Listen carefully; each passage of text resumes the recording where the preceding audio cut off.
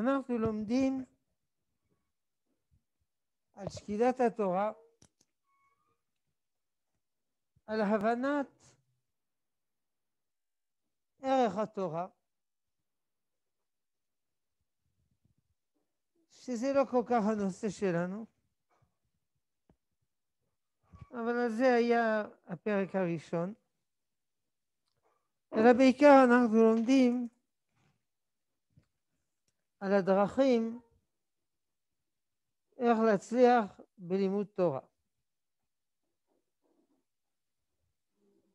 שעל זה כל הפרקים הבאים. ואנחנו ראינו שהתנאי הראשון, ההכנה הראשונה, ההכנה הנפשית הראשונה ללימוד תורה זה ענווה. היה אפשר להבין שלפני התורה צריך מידות טובות. ברור. לכן, דרך ארץ קדמה לתורה. 2448 שנה. אבל זה לא הנושא שלנו.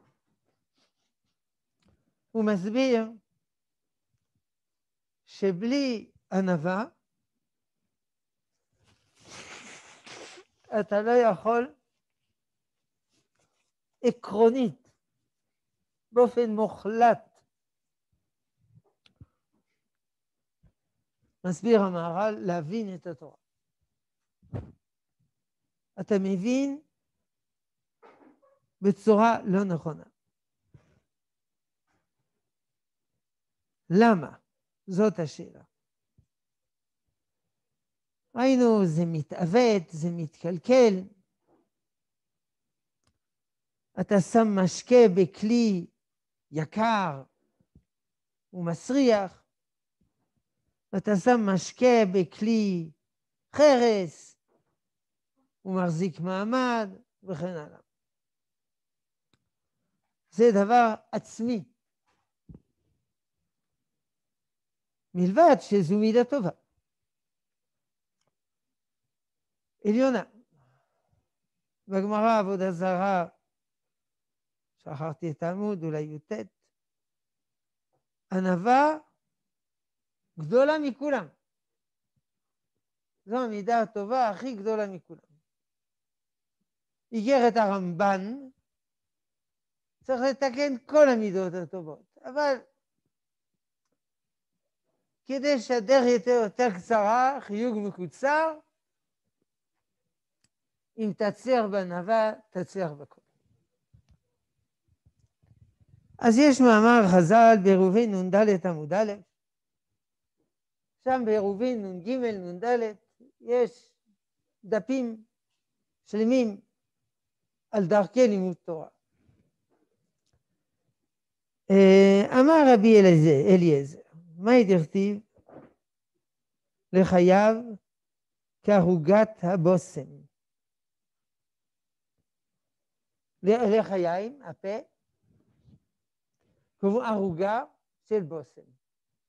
לא כמו ערוגה ולא כמו בושם, אלא ערוגת הבושם. אם אדם ישים עצמו כערוגה שהכל דשין בה,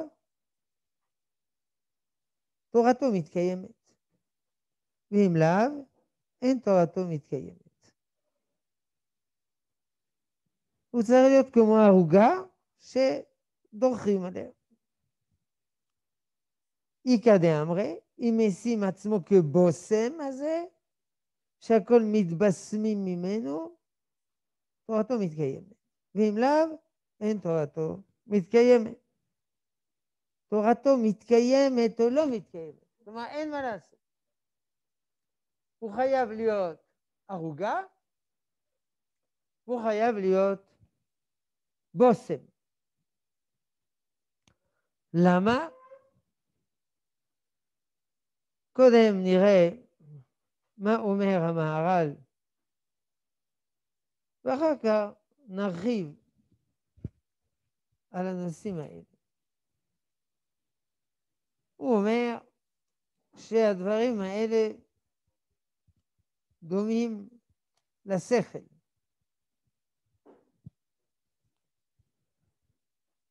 כי למה דומים לשכל? כי הענווה דומה לשכל. למה הענווה דומה לשכל? בגלל מידת הפשיטות. כלומר, ענווה שווה פשיטות, פשיטות שווה שכל. אם כן, המעבר בין המושג של ענווה והמושג של שכל, זה על ידי מושג הפשיטות. מה זה פשיטות? שהמהר"ל משתמש בזה הרבה מאוד. לגבי האדם. אין הכוונה שהוא אדם פשוט ולא עמוק, אלא שהוא פשוט ולא מורכב. יש בהלכה כלים פשוטים.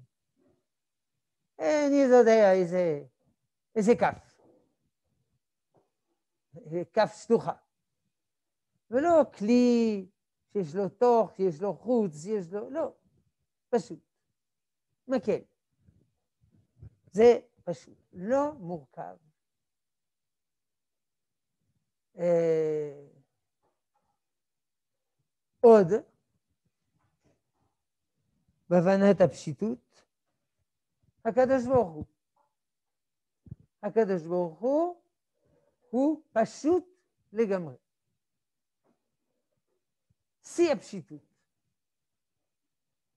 אה, אין הכוונה פעם שהוא לא עמוק, אלא שהוא לא מורכב. אם אתה אומר שהקדוש ברוך הוא מורכב, אתה כופר. זה בעיקרי אמונה. אחד, ולא כאחד המורכב מאחדים. למשל, אתה אחד, ברוך השם, אחד, אין לך אח תאום, אבל יש לך יד, רגל, אוזן, זה, זה, זה. אתה מורכב מהמון המון חלקים. הקדוש ברוך הוא אחד, ואין יחיד כייחודו. שום דבר אינו אחד כמו שהשם אחד. לא רק אחד ואין שני להמשילו להכבירו, להכבירה, אלא אחד שלא מורכב מחלקים. כי אם אתה אומר שהאל מורכב מחלקים, זה כאילו עבודה זרה, שיש כמה אלים. אני לא מבין, מה פירוש הקדוש ברוך הוא, הוא לא מורכב מחלקים? הרי אתה אומר, האל הגדול, אחד, גיבור, שתיים, נורא, שלוש, אל עליון, ארבע, גומר לחסדים טובים, חמש.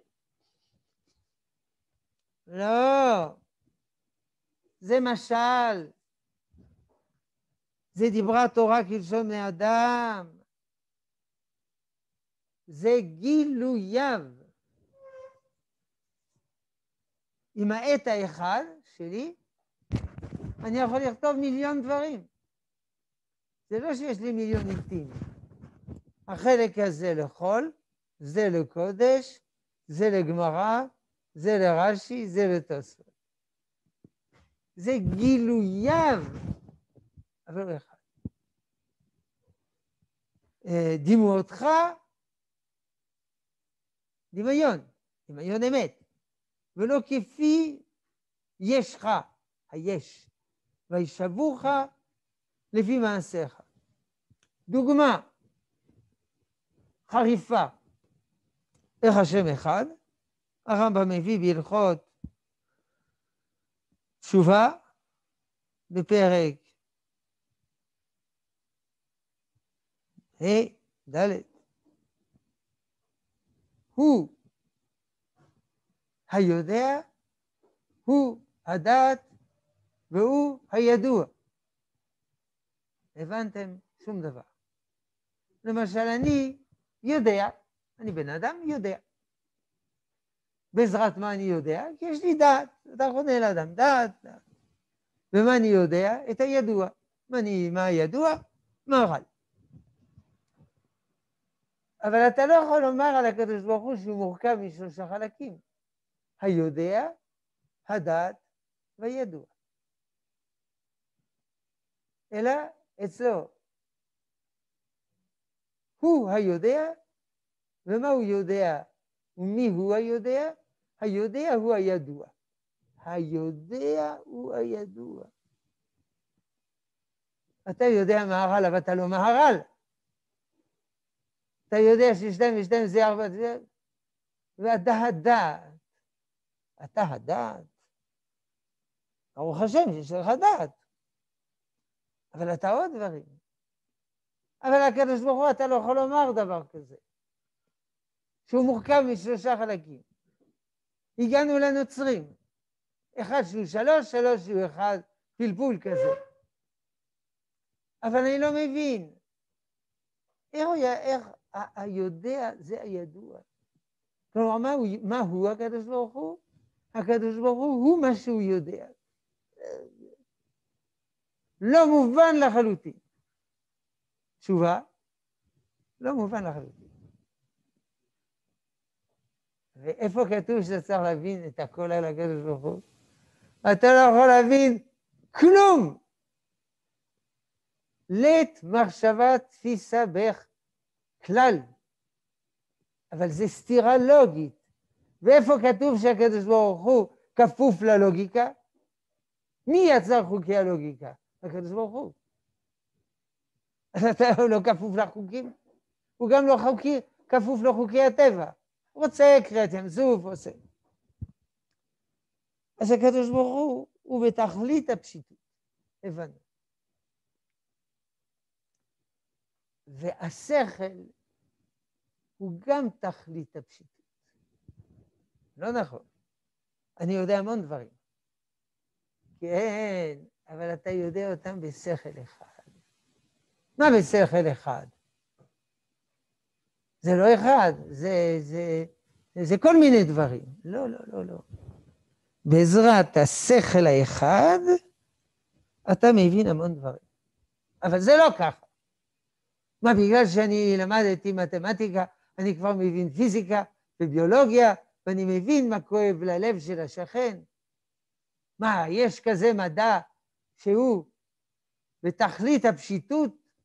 כן, התורה. התורה זה מין מדע כזה, שכולל את הכל באחדות אחת. אה, זה מדע מעניין, כן, מאוד מעניין. אז בתורה יש הכל? יש הכל. נשמת הכל, תוכן הכל, משמעות הכל. אז אתה מבין שהתורה היא הפשיטות. ענווה זה פשיטות, פשיטות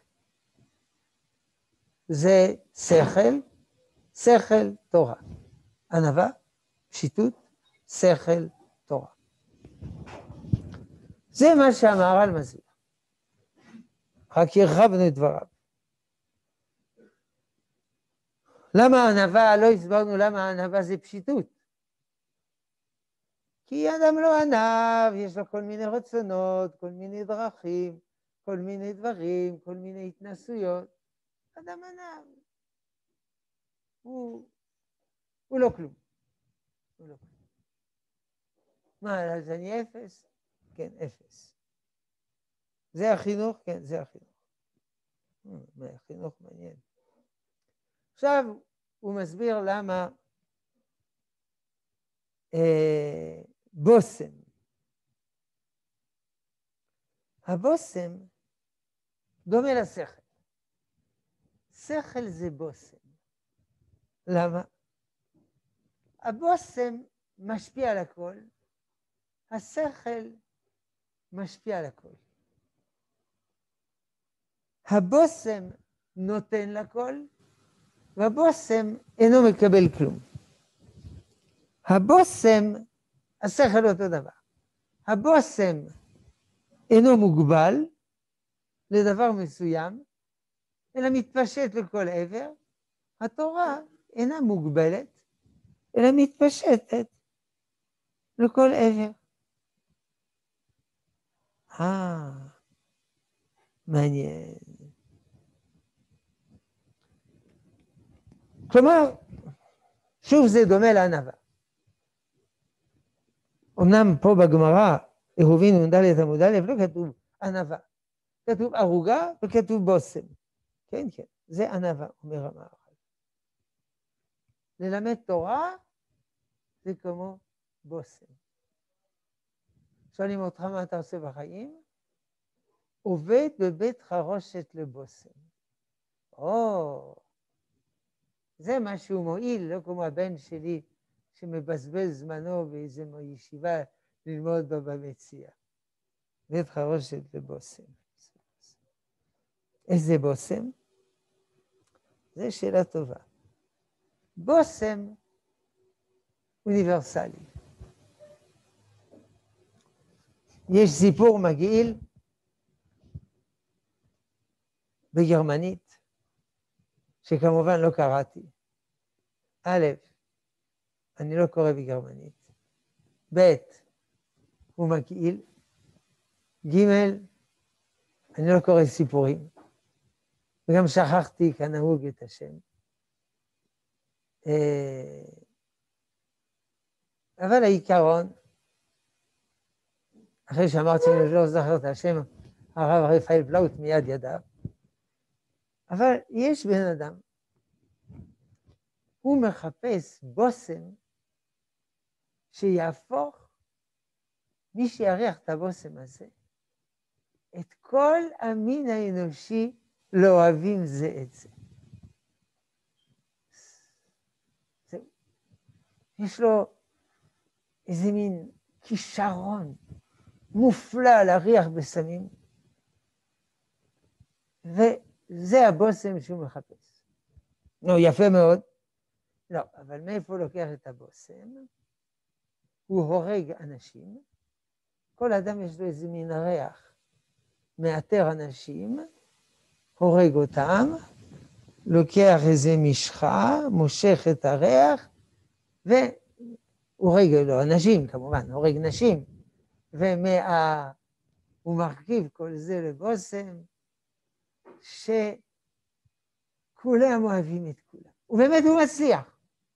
בסוף כולם אוהבים את כולם, וכל כך אוהבים אותו, שאוכלים אותו. כמו שיש תינוק קטן, אתה חמוד, אתה חמוד, אני אוכל אותך, מי אומר. כמובן, הסיפור הזה תורגם בכל השפות, לא יודע אם הוא תורגם בעברית, והוא נמכר במיליונים, מיליונים של עותקים וזה וזה. על כל פנים, יש כזה בושם, אני מכיר את הבושם הזה, שנתפשט אל הכל, נספג אל הכל, וככל שהוא יספג יותר, אנשים יותר יאהבו, יותר יהיו טובים, וכן הלאה וכן הלאה. טוב, זה במהר"ל עם קצת הסבר. עכשיו נאריך בזה. כערוגת הבושם, שהכל דשים בה. איך אומרים עברית מודרנית, כולם דשים בה? כולם דורכים עליי. אה, אדם צריך להיות כזה טיפוס שכולם דורכים עליי. מה זה? מושיט לחי שנייה? אגב, מושיט לחי שנייה זה לא המצאה של הנצרות. זה כבר כתוב בנביאים, נתתי לחיי למורטים, גבי למכים. זה המצאה של הנצרות לדבר על זה גבוהה גבוהה, בלי לעשות כלום. וזו המצאה שלנו לא לדבר על זה, אבל לעשות את זה. הנביאים לא היו כאלה שדרכו עליהם כל הזמן, ולא זרקו את ירמיהו לבור, ולא הרגו את זכריה בבית ראשון. אוי ואבוי, ולא אמרו משוגע, קראו להם משוגעים, והם לא לקחו ללב.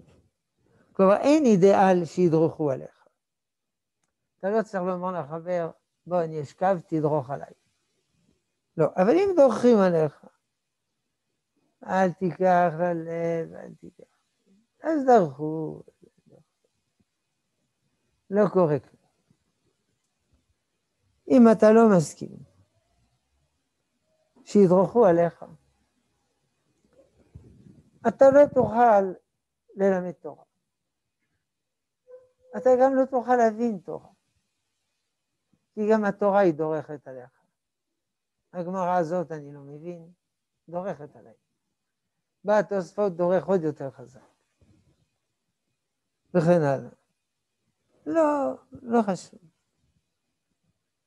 אני, במילים פשוטות, אני פסיבי, פסיבי. בעברית, נפעלות. מופיע הרבה בשיחות הרב ציודה, הנפעלות. יצחק אבינו, הנפעלות. לא נפעלות על ידי השכן ממול, נפעלות על ידי ריבונו של עולם. אה... כי אם יש לך אישיות, אתה צובע את התורה שאתה לומד לפי האישיות שלך. אתה, אתה נותן, יש לך הבנה אחרת.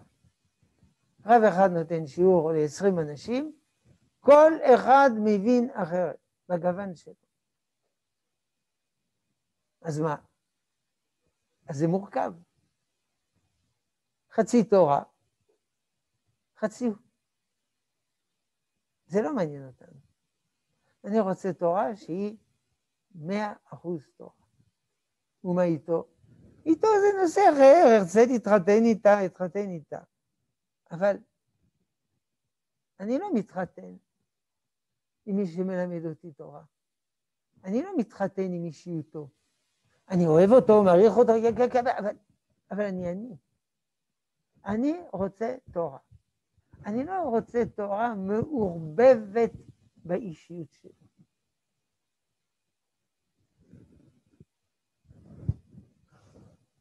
ואפילו לא באישיות של משה רבינו, אלא רק מעורבבת באור האלוקי. אבל משה רבינו הצליח, כי הוא הענב מכל אדם אשר על פני האדמה. ולכן הוא קיבל את התורה, מאה אחוז תורה, אפס אחוז משה רבינו. מה, אין לו אישיות? יש לו אישיות.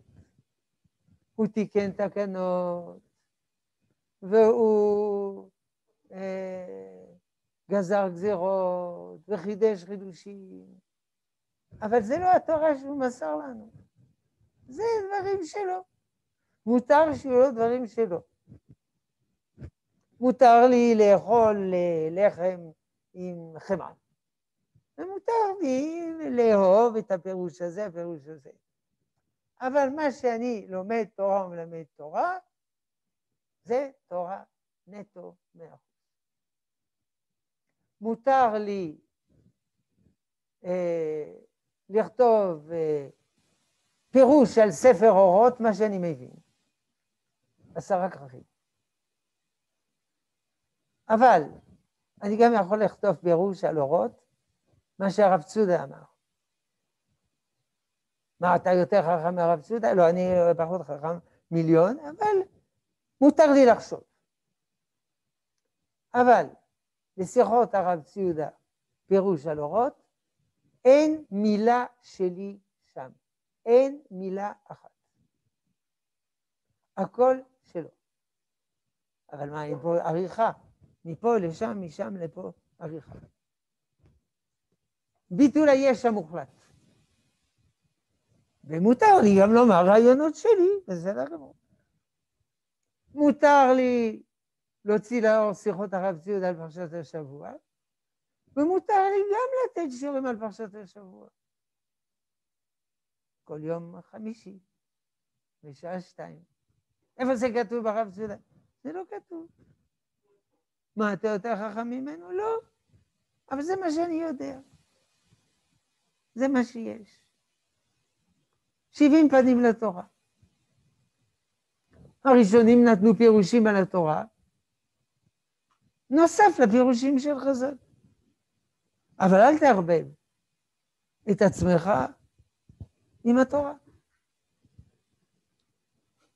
כמובן, זה לא מודרני. עכשיו, איך לומדים תורה?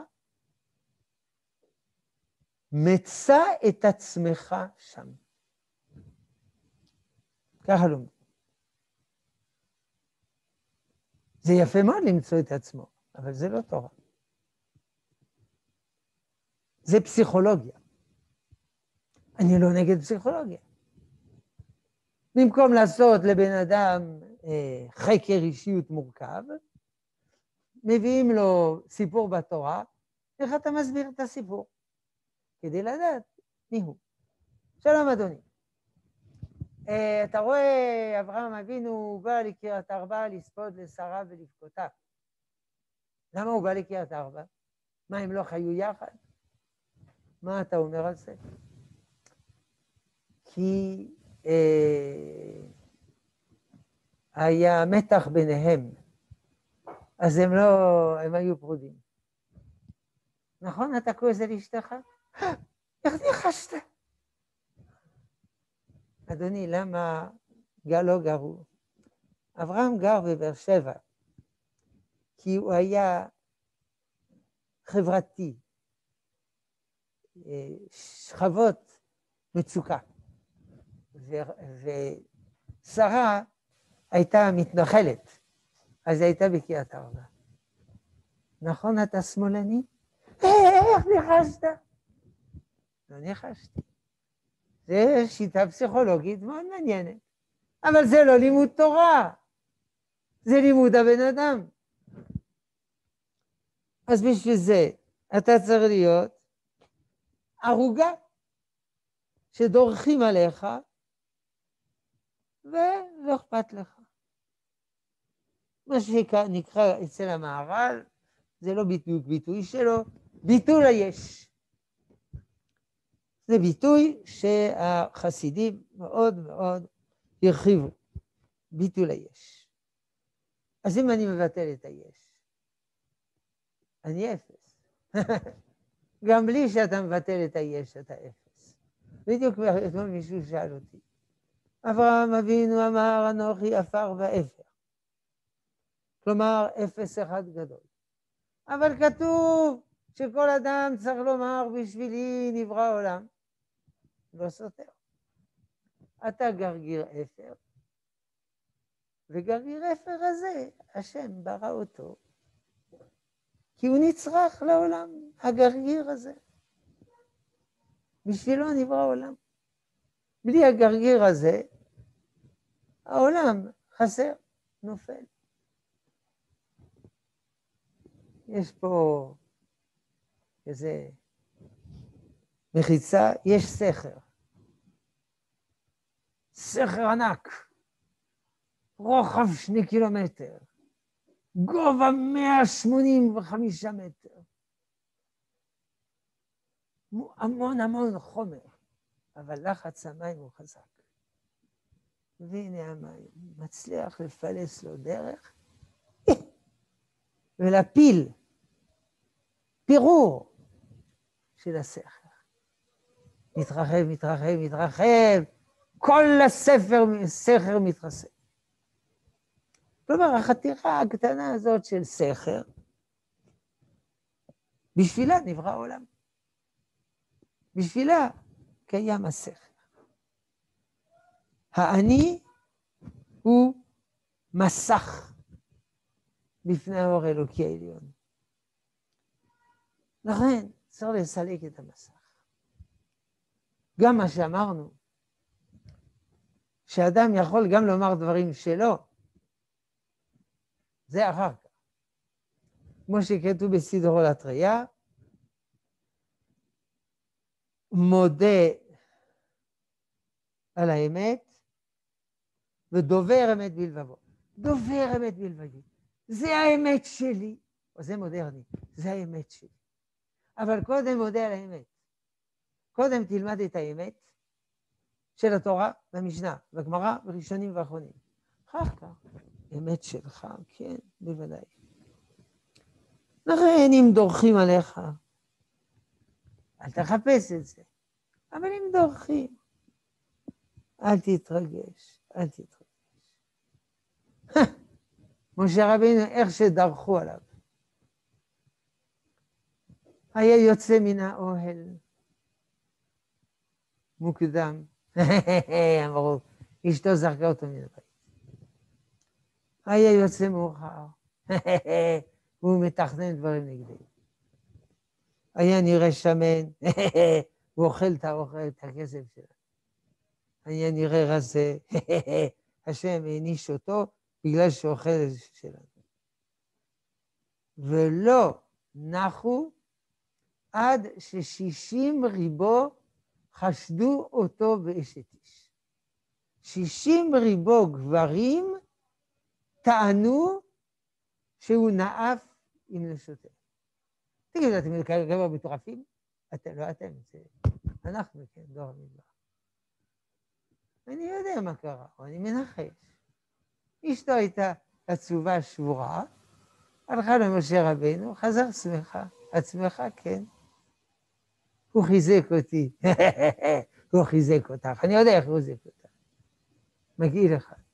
זה משה רבינו. בלע כל זה, ולא אמר מילה. ומשה, ואהרון ומרים דיברו נגד משה. הוא לא ענה. ואיש משה ענב מאוד. לא קורבן מסכן, אלא לא אכפת לו. זה הנפעלות. לא להבליט את עצמי, אלא כמה שאפשר לקלוט. זה עולם אחר. בלי זה אי אפשר להבין טוב. ומכאן לבושם היקר שלנו. הבושם נותן, נותן בלי גבול, לכל הכיוונים. הוא מסוגל לבשם את כולם. כל מי שעובר, קולט את הבושם. הדודה מנשקת את הילד הקטן בן שנה וחצי, הוא בעצמו מלא בושם. זה מגיע לכל מקום. הבושם. הבושם זה לא דבר שאפשר לתפוס בידיים. אגב, עד היום הזה, המדע לא הצליח לנתח בושם, את הריחות, את הקולות, מוזיקה ודאי, דורים מפסול הסידו, וזה מלא מלא. הריח. גם השמיעה, ומנטרים קולות, אקוולייזר וזה וזה. הריח, השמיעה. גם נגיעה, יודעים. בסמים. לא יודעים להגדיר בסמים. לא יודעים לפרק ריח של בושם למרכיבים. ודאי, אם אני אהיה בושם, אני יודע שזה אטומים וכאלה כאלה. אבל ההרגשה של הבושם, אי אפשר, זה דק, זה עדין, זה חמקני. איזה דבר שהנשמה נהנית ממנו, בושם. זה מין סוד כזה, הבושם. כלומר, אתה לומד תורה, זה, האם אתה תופס את הבושם שיש בזה? לא המילים החיצוניות בלבד, התוכן, הפנים, הנשמה, העדינות שיש בזה. בושם זה עדין. יש בן אדם, אני מסנוור אותו, אני מרעיש בתזמורת של החתונה כדי שיקבל סעיף אוזניים, כי אני רופא אוזניים, מרוויח מזה כסף, וכן הלאה. אני מכה אותו, דוחף אותו, דוחס אותו. הוא עדין כזה. זה לא כפייה. אני לא כופה. אני הריח חודר חדירה עדינה. הבושם עושה שהתורה היא לא רציונליזציה יבשה. בושם. יש לך שיטה למצוא את הבושם שבתורה, כן? זה נקרא תלמוד בבלי, או ירושלמי גם. התלמוד הבבלי מחפש את הבושם. הפירוש שלך, אה, מריח טוב. יש הרבה בשיר השירים. ריח דודי כריח בסמים, ריח, ריח, ריח. אה, אין לזה טעם וריח. או, זה מריח טוב. אה, זה מריח טוב. הבושם, כמו שאמרנו, אנחנו אמרנו, המהר"ל אומר, הוא לא, הוא לא אומר. הבושם לא מחסר את הבקבוקים בושם. זה נשאר. תורת השם תמימה. לומדים, לומדים, לומדים, לומדים. זהו, גמרת? לא. זה כמו שפעם הייתה ישיבת הורים, מורים, בית ספר, בטח קוראים לזה, כיתה ג', ד'. אמר הורה אחד, לא, לא מבין תוכנית הלימודים. שהבן שלי אומר שלומדים תורה, חומש. אבל כבר לפני שנה למדו חומש, מה, לא גמרו? לא גומרים אף פעם. זה לא... זהו, גמרנו. לא. מדיף בושם, מדיף, מדיף, כל הזמן. בושם הוא שומר מרחק. הוא לא חודר נשמת התלמיד. יש ישיבות שיש משגיח. בסדר גמור. אבל בישיבת מרכז הרב אין משגיח. מי שרוצה ללמוד לומד, מי שלא רוצה הוא לא לומד. יש תלמידים למדו פה, כלומר לא למדו. עברו לישיבה שיש משגיח, למדו. ברוך השם, שמח מאוד. פה אין משגיח. גם במרכז הרב. גם בלא יודע איפה. כי הנשמות הגדולות בתורה צמחו וצומחות לא על ידי משגיח, אלא על ידי תשוקה פנימית חופשית. אז זה כמו הבושם. לא לוחצים, לא דוחפים, לא מחדירים. מדיפים בושם. יכול להיות אפילו תלמיד חכם שלא נותן אף שיעור. והוא מדיף ריח של תורה, בלי לדבר. כי הוא תורה, כי החיים שלו תורה. זה כמו בושם. ומעשה שאמרו לאדמו"ר, יש מלמד, המכונה מלמד, מלמד, הוא תמיד מאחר בבוקר. ואחרי שהוא מגיע, הוא מניח תפילין של רבינו תם. עוד זמן. אמר האדמו"ר, אם זה ככה, צריך לפטר אותו. גזל מהתלמידים. אבל קודם, לא שופטים לפני שרואים, אני רוצה לראות. הסתכל באיזה חור בקיר, רע נכנס המלמד.